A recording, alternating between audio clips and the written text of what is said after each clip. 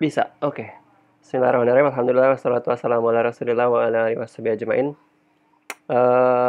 insya Allah hari ini kita akan melanjutkan pembelajaran pemrograman web kita pada mata kuliah pemrograman web 2 jurusan Sistem Informasi Unsri yang mana pada mata kuliah ini kita menggunakan uh, referensi online course dari Coursera uh, web application for everybody. Dan hari ini kita sudah sampai ke course 3 bahasan terakhir. Building database application in PHP bagian uh, CRUD application. Oke. Okay. Dan juga slide yang kita pakai adalah slide dari Prof. Uh, Charles. Uh, CRUD application. Mahasiswa bisa lihat slide sekarang di layarnya ya.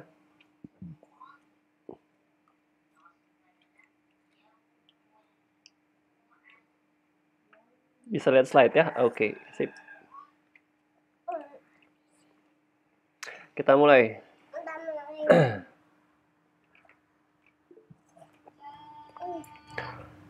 Jadi kita sudah bahas tentang CRUD, uh, CRUD, uh, create, read, update, delete. Jadi ini adalah apa yang secara umum kita lakukan terhadap uh, basis data uh, manipulasi yang kita lakukan terhadap base data, create, kita menambahkan, menginsert row baru.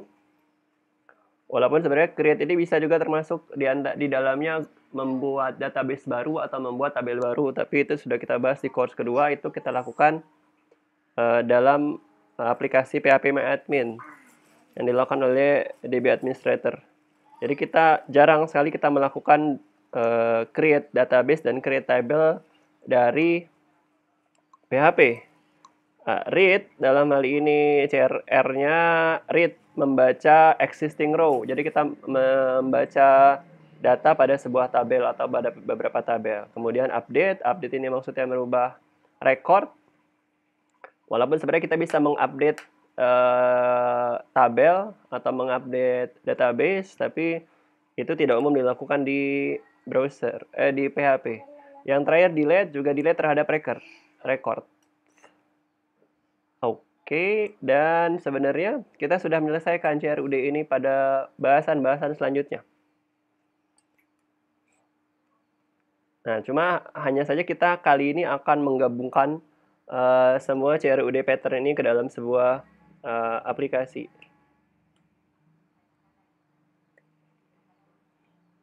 Dan sampai sejauh ini program kita masih uh, tidak begitu bagus dan kita akan membenahi dari sisi fungsionalitas dan tampilan. Kita akan nantinya setelah di akhir kita akan membuat uh, empat file indeks PHP. Indeks PHP ini akan mendaftarkan, melis semua data dan indeks PHP ini yang akan menjadi tampilan index. That's why it's called index karena itu adalah halaman indeks yang menjadi uh, sumber kita menuju ke file yang lain. File yang kedua adalah add.php. Di add.php ini kita akan uh, memiliki sebuah form untuk menambah data. Kemudian delete.php delete ini untuk menghapus entry, edit untuk mengubah. Dan ketiga ketiga use case yang berikutnya ini merupakan skenario lanjutan dari indeks PHP. Oke, jadi indeks PHP nanti akan bisa mengarah ke add PHP, delete PHP, ataupun edit PHP. Kemudian yang terakhir view.php ini kalau kita memerlukan uh, tampilan detail. Misalkan kita punya banyak struktur tabel, uh, maka mungkin akan jelek ditampilkan dalam sebuah tabel gabungan.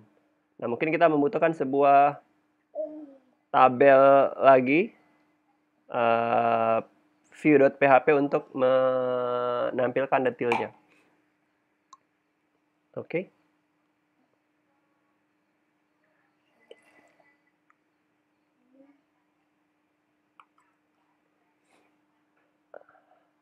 Oke, nanti akan jadi seperti ini. Jadi ada ini adalah indeks.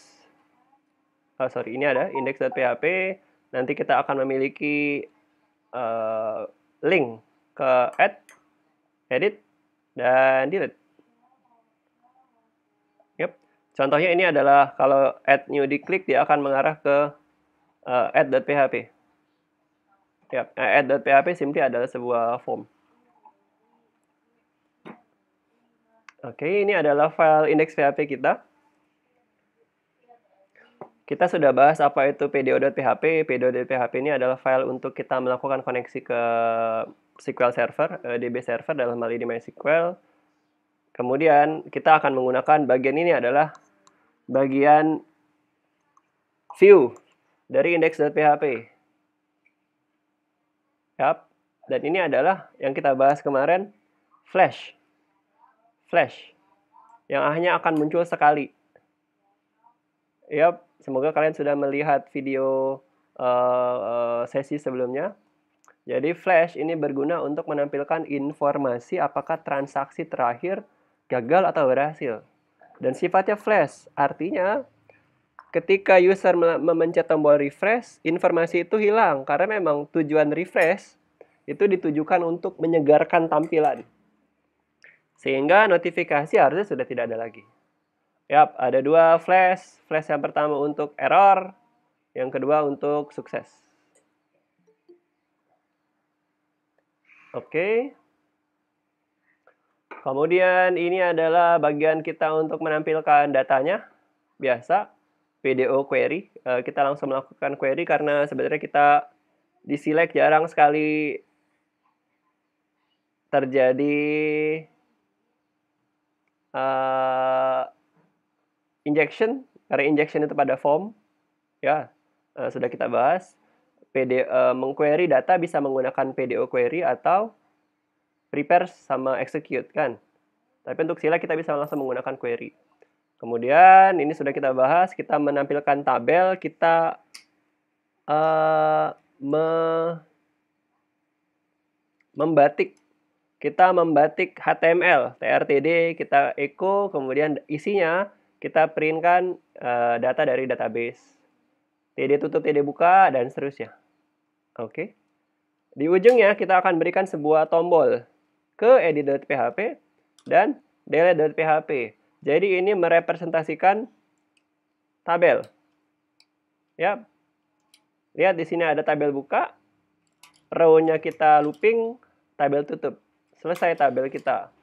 Di bawah tabel ada sebuah tombol untuk menuju ke add PHP. Oke.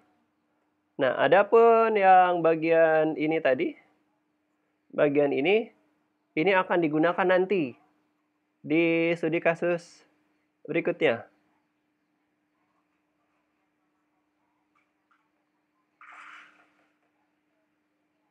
Slide-nya nggak full iya memang slide-nya di atasnya ada gitu maksudnya. Tapi kan kalian bisa lihat semua slide CRUD-nya kan?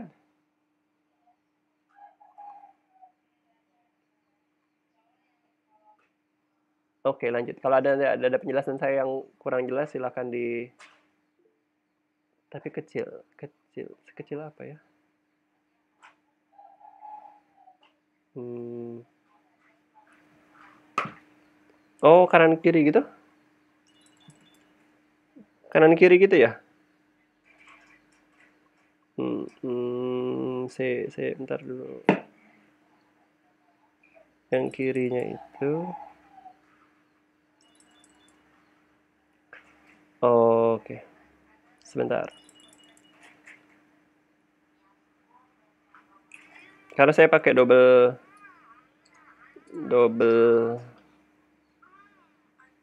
ini ABS course ABS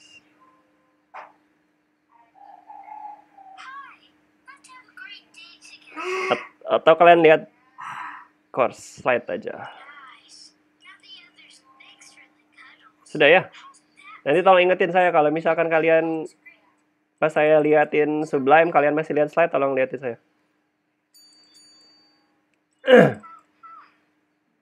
Oke, lanjut ya.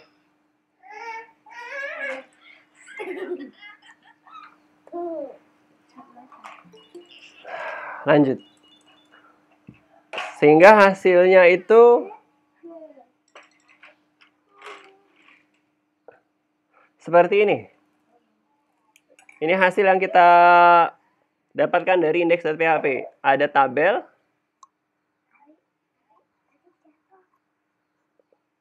ada tabel, kemudian ada dua tombol yang mana row ini kita looping sesuai jumlah data dari tabel. Kemudian ada uh, add new. Oke, okay. dan kalau edit ini kita uh, href, kita klik akan mengarah ke ini. Ya. Loh kok ada user ID satu? Karena memang kita kasih ID siapa yang lagi mau diedit atau dihapus. Oke. Okay. Oke, lanjut. Itu yang index.php.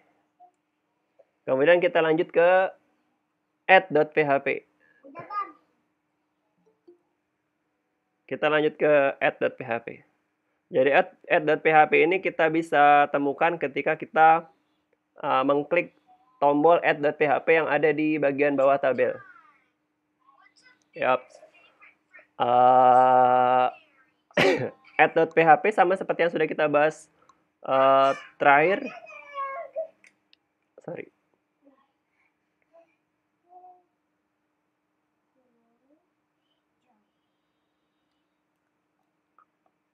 Seperti yang sudah kita bahas di bagian terakhir. Jadi ini adalah bagian view-nya. Ini adalah bagian model dan controllernya. Oke. Pertama kali add.php di request, kita akan menggunakan method get, kan? Oke. Karena kan href atau langsung menuliskan link pada address itu akan menggunakan method get. Oke. Sehingga ini tidak akan dieksekusi dulu karena ini mengecek apakah post atau bukan. Jadi ini tidak akan dieksekusi. Langsung muncul ke bawah, bagian bawah. Bagian bawah. Uh, ini form biasa, ada tulisan add new user, add new user. Yap. Kemudian ada form, ada tiga data, name, email, password, dan tombol. Tombolnya ada dua, add new, cancel.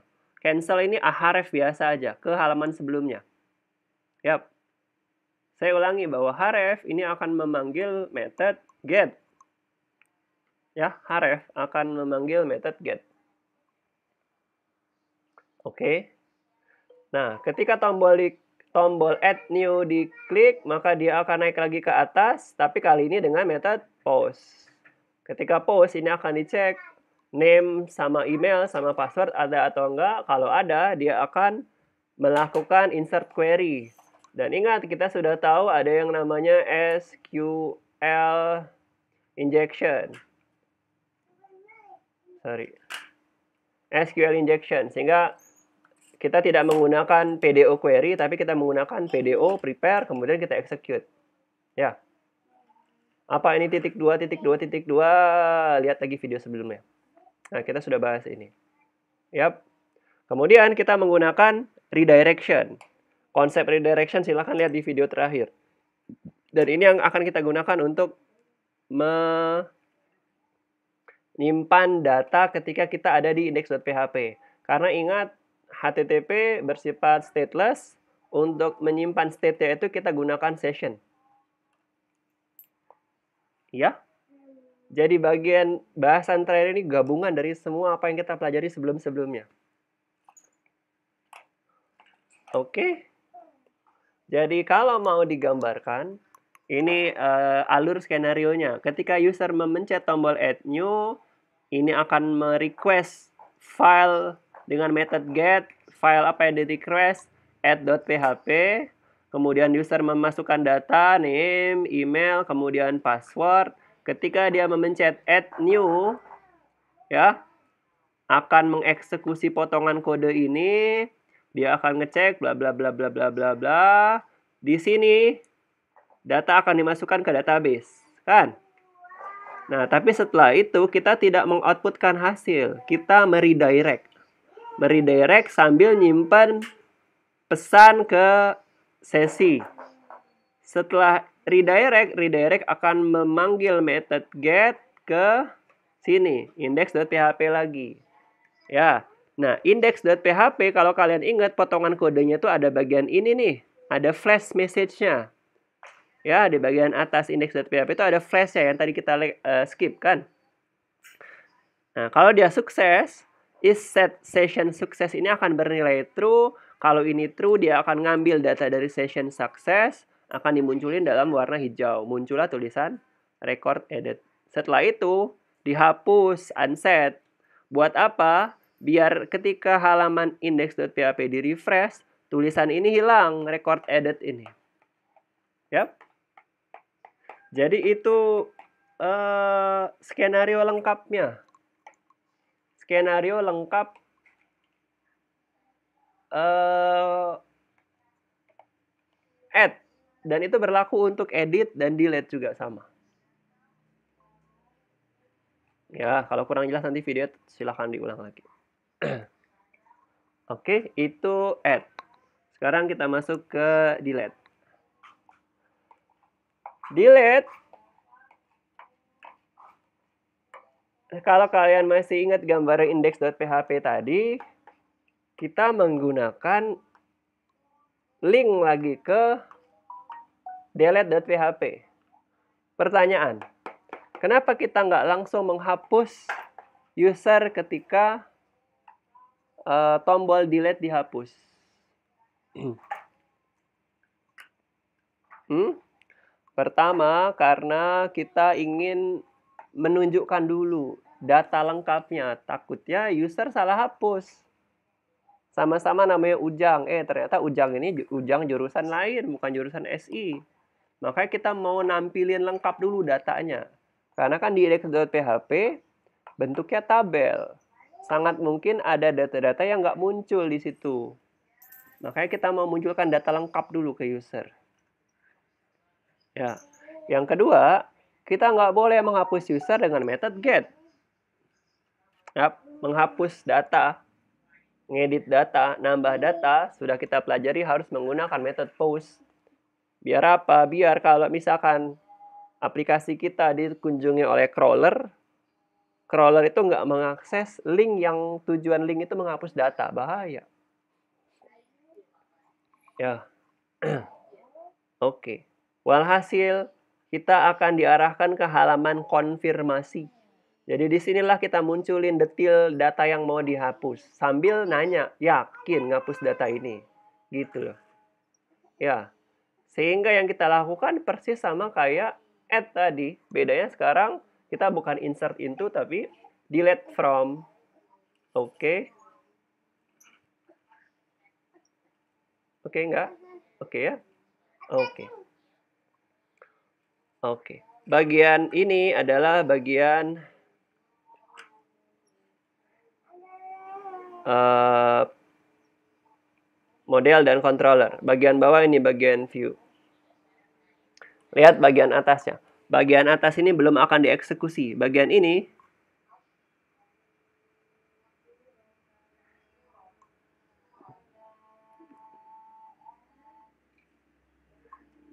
Nah,